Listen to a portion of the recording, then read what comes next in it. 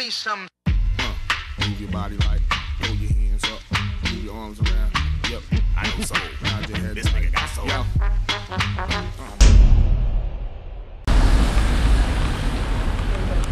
Ik ga even hier aanbellen. Even zo. Can we go down, uh, film it? One day? Yes. Yes? Walk there? Ja. ja, ja. Oké.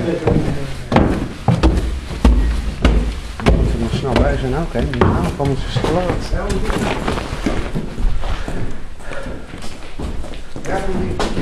Yes, thank you. Thank you.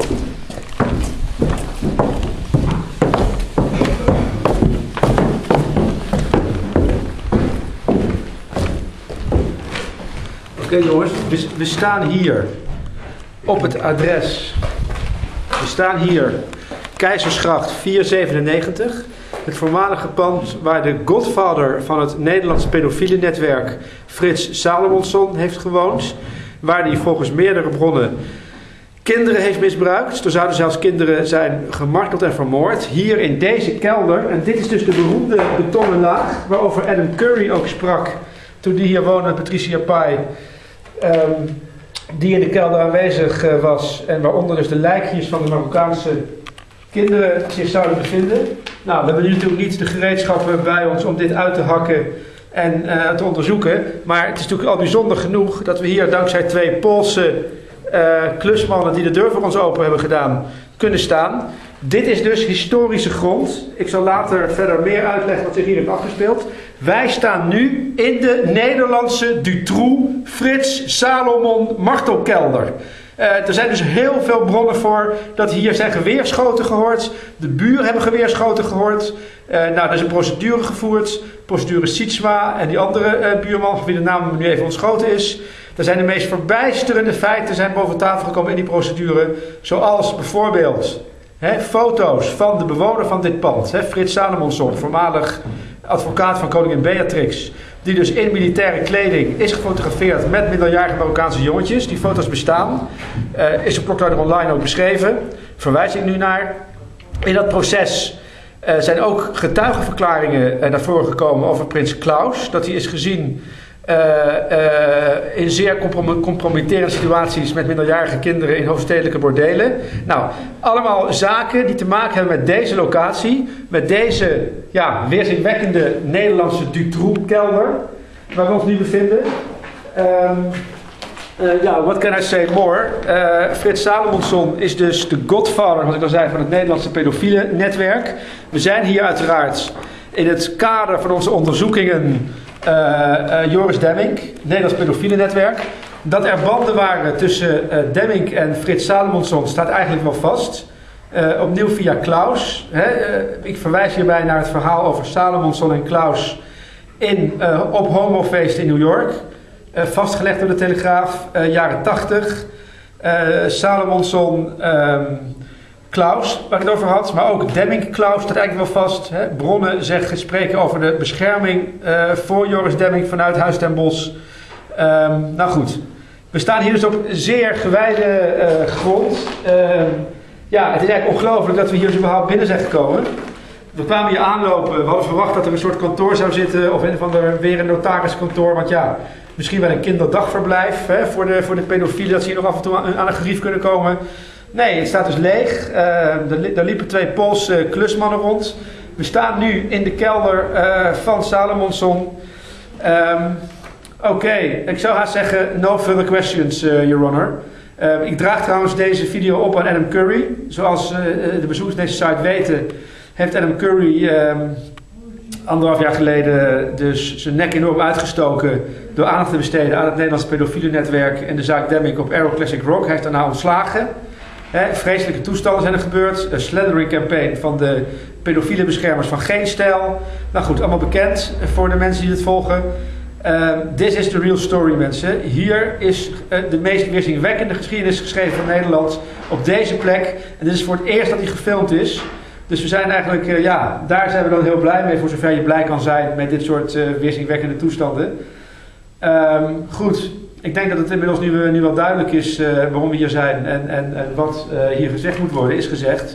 Dus we gaan nu maar weer naar buiten, want de rest van het pand hoeven we niet te zien, volgens mij. Het gaat alleen om deze locatie, om, deze, om de beroemde martelkelder van Frits Salomonson. Ik zou zeggen, laten we nog even de camera rondgaan.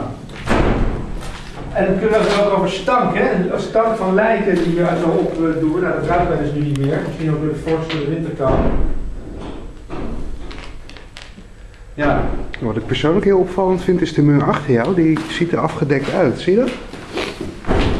hoe we dat afgedekt? Nou kijk, we hebben hier de rand van de oude muur. Die dus zo staat. En deze muur hier. Zie je dat? Die is gebouwd nadat deze muur. Dus het zou kunnen dat hier nog een stuk kelder achter zit. Ja, dat zou inderdaad kunnen. Het is wel heel bizar om hier zo eh, te lopen inderdaad. Kijk, dit is ook nog een mooi hoekje. Ja, we zien het niet in het donker. Maar hier onder het trapgat er zit ook nog een heel... Zie je dat? Een hok zit hier. Ik heb geen lampje bij me, maar... Zie je dat? Hier zit een hok, Mieke. Ja, En wat zaklamp dansen. jongen, Oké. jongen, hè. Ik vraag me af wat hiermee gaat gebeuren.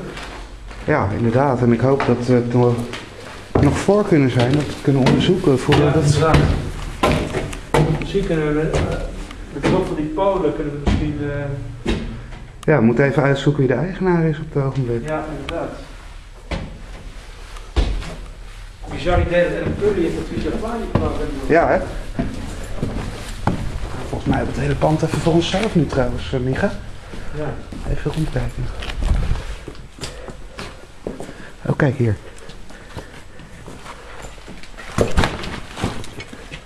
Dat is echt ongelooflijk. Tering, kijk eens. Dit gaat echt wel door hier.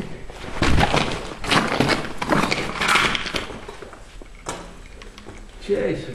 Kijk, want net zaten we hier achter. Hier is onze martelkelder met de muur hierachter. En we zien duidelijk dat deze ruimte helemaal doorloopt tot hierachter. En dat deze vloer hier verhoogd is. Dus hier onder deze ruimte zou nog een hele grote ruimte kunnen zitten eventueel.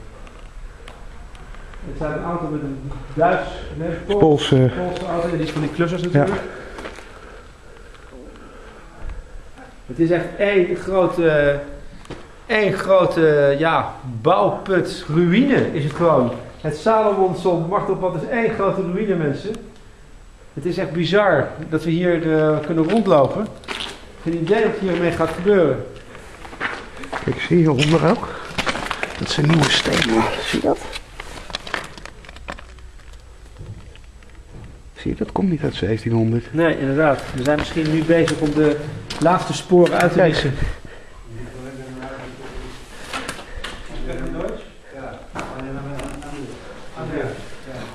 Die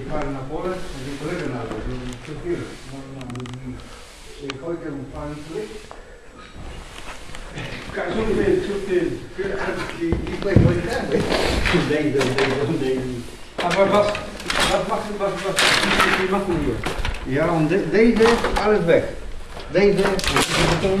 und deze, ja. Deze beton weg.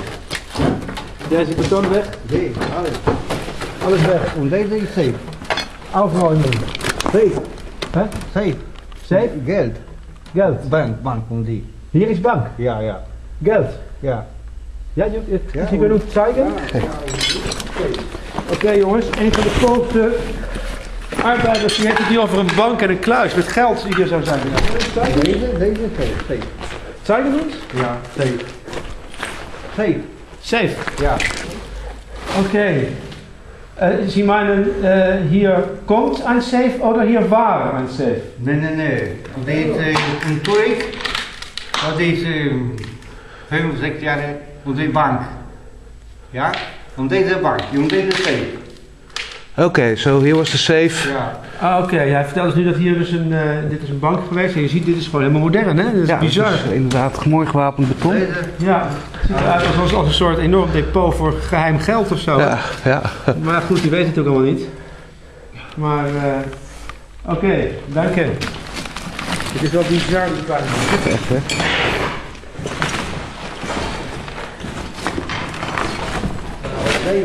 die. Ja, die.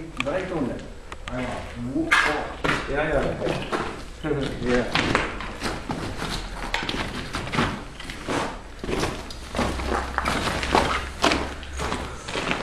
Oké, Oké. nou. Die blijven hier? Ja. Arbeiten? Ja. Alles, eh, Alles, alles, alles, moet weg. alles weg mag Ja. Auch der, auch der Grund? De- Ja, ja. Ja, auch äh, hier? Ja. Eh, die, deze. Nein, da, da unter, hier. Eh, ja, die weet ik niet. Oké. Die chef komt die zeggen, ja. Ja. Die chef bla bla, die voice arbeid. weet.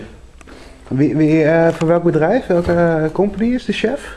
Eh, Dein, dein Chef, wer ist das? Dein, Geit, Heid. Geit. Hast du äh, Ja, von Heid? ja. Kann ich das haben? Ja. Eh, ja, eh, goedendag. Ik spreek met Micha Kat. Ik ben journalist, onderzoeksjournalist.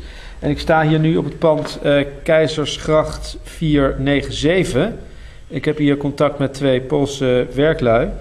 Die hebben mij jouw nummer gegeven. En ja, wij zijn hier in dit pand omdat dit adres eigenlijk het pand is geweest ehm, van de Nederlandse pedofiel Frits Salomonsson. eh, waar hij in de, in de kelder waarvan, dus eh, waarschijnlijk, daar zijn heel veel getuigen van, dus lijken eh, liggen van Marokkaanse jongetjes die zijn misbruikt. Ik weet niet of je iets van die voorgeschiedenis van dit pand kent. Is dat jou bekend of niet? Is jou niets van bekend? Oké, ben, jij, ben jij aannemer, neem ik aan, of niet?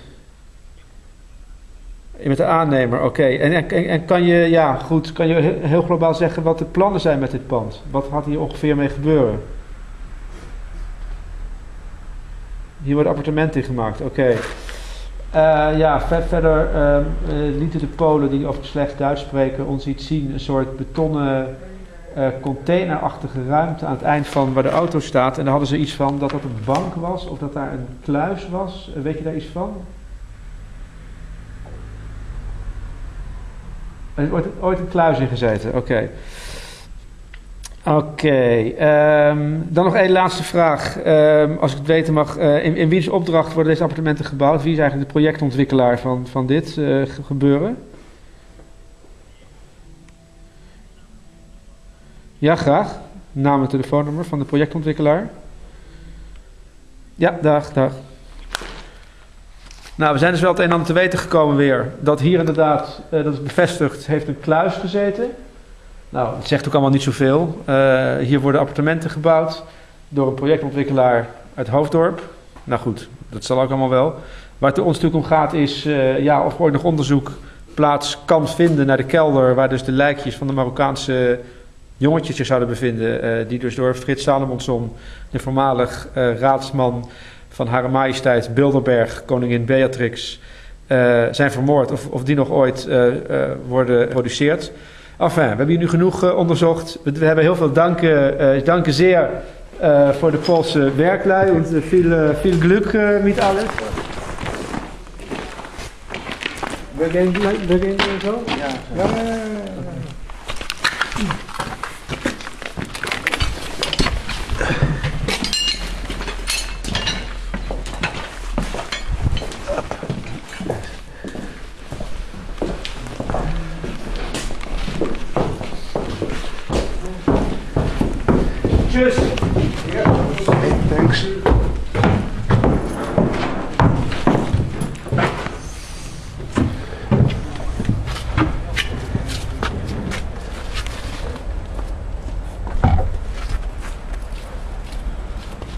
Jongen, jongen zeg. Ja, wat voor eh, gevoel had je daar in die kelder, eh, Micha? Ja, ja, het is gewoon. Hoe moet ik zeggen? Ik weet niet. Net het- of je in een andere wereld binnenstapte. Een hele rare. Met die Polen ook. Het is heel bizar. Echt, hè? Ja.